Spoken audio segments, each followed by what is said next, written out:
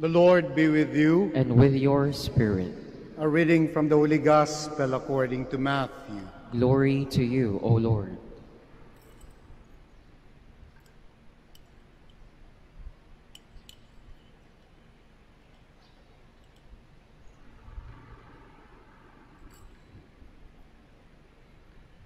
This is how the birth of Jesus Christ came about.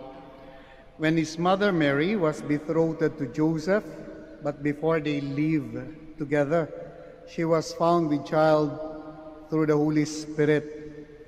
Joseph, her husband, since he was a righteous man, yet unwilling to expose her to shame, decided to divorce her quietly. Such was Joseph's intention when, behold, the angel of the Lord appeared to him in a dream and said, Joseph, son of David, do not be afraid to take Mary your wife into your home. For it is through the Holy Spirit that this child has been conceived in her. Mary will bear a son, and you are to name him Jesus because he will save his people from their sins. All this took place to fulfill what the Lord had said through the prophet Behold, the virgin shall be with child and bear a son, and they shall name him Emmanuel, which means God is with us. Dear friends, the gospel of the Lord. Praise to you, Lord Jesus Christ. Please be seated. Sa ikalabing siyam na araw ng ating ah, pagdiriwang, ng nobenaryo, uling misa, at yung ibanghelyong binasa po natin, ang ending, yung mga katagang, God is with us.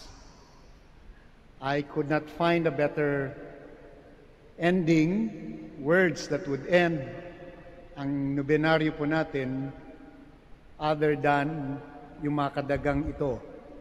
God is with us. Kung matatapos yung nobenaryo, ito yung napakagandang ma-realize, marinig natin yung mga katagang ang Diyos ay sumasa atin. Ah, yung mga patuloy na sumusubaybay, nakikisa sa kanilang mga bahay, online masses, sa live stream. Alam ko sinundan nyo, nakibahagi po kayo sa mga misa. Ang mga huling kataga, God is with us.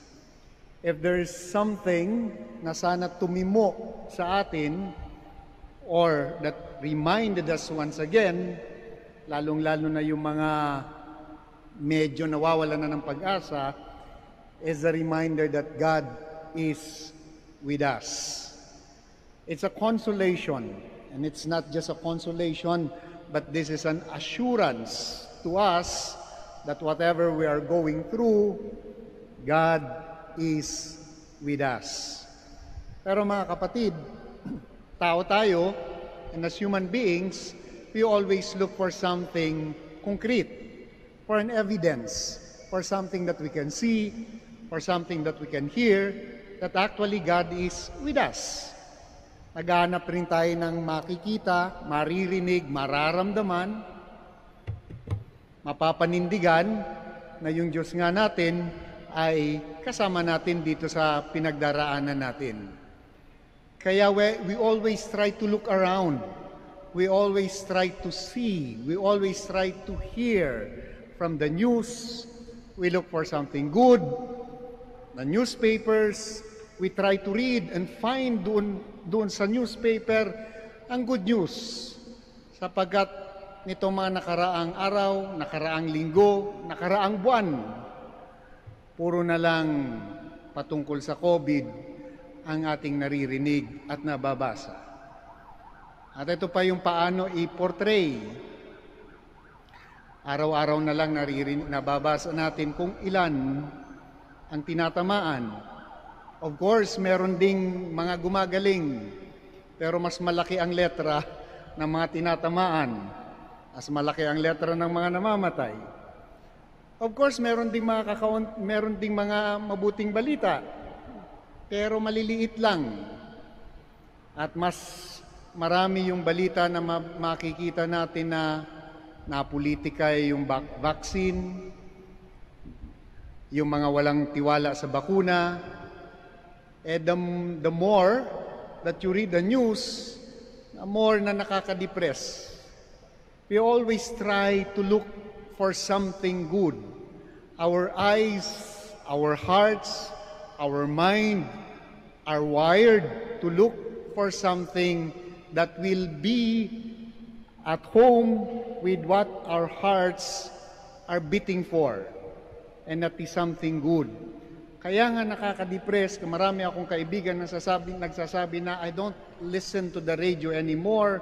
I rarely read the newspaper anymore because everywhere I look, it's bad news.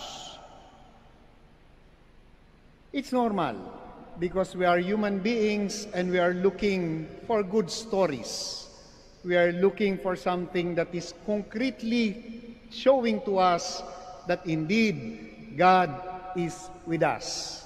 And just to be very honest with you, isang taon na rin, ang hirap kayang tumayo, tumayo dito sa pulpit na ito na halos araw-araw, linggo-linggo, trying to tell the people that things will be okay. Eventually, people are asking, when will it be okay? Trying to tell them that there will be a light at the end of the tunnel. Father naman, ang haba naman ng tunnel na ito. Kailan ba talaga matatapos ito? And yet we do not stop. We continue to assure one another that indeed, God is with us. Kaya nga naman kapag ka merong mabuting balita, magandang balita, na nababasa tayo, we consume it. Sinusundan natin and we are amazed at that good story because it's not simply a feel-good story. It's not simply a feel-good story, but it's actually a manifestation na ang Diyos indeed ay sumasa atin. Indeed, God is with us.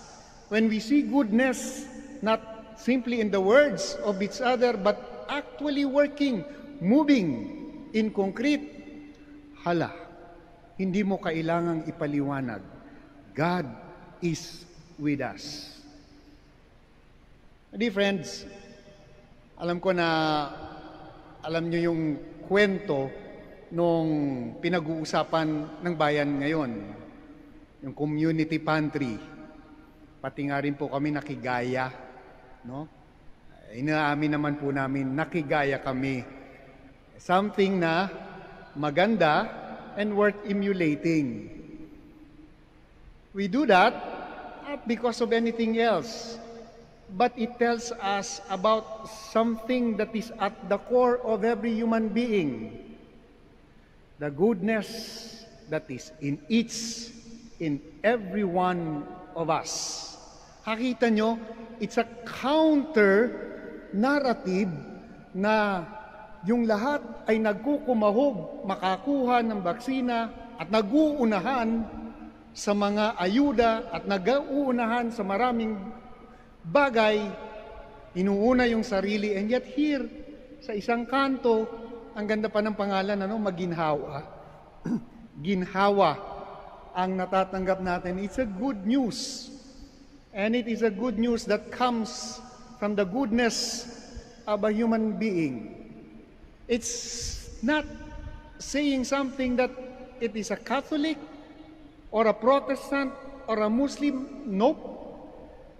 Tao, Pilipino, at nasa kaibuturan ng kanyang puso na simply to share and simply to depend on each other.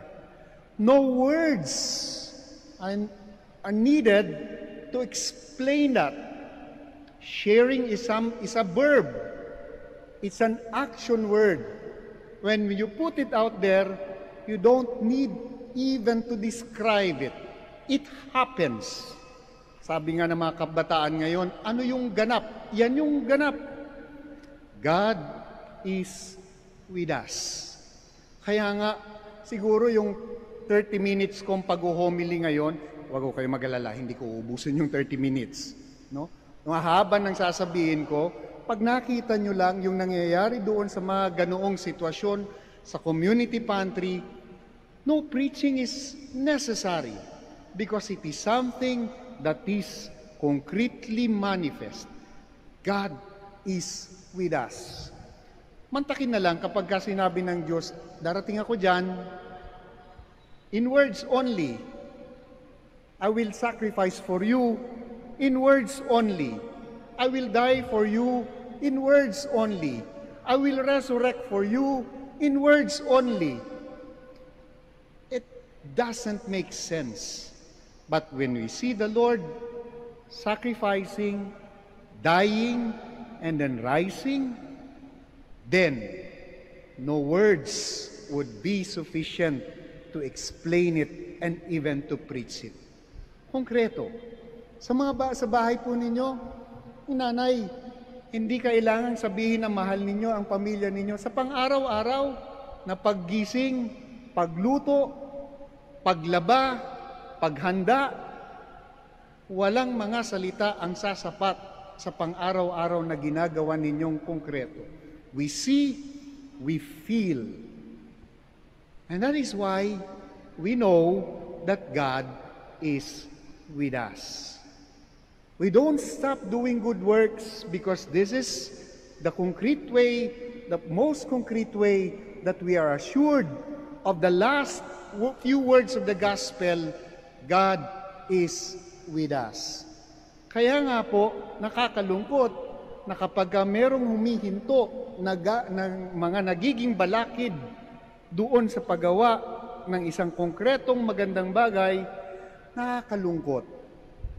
And we call that in our Christian and our Catholic tradition as the work of the devil, the work of the evil one.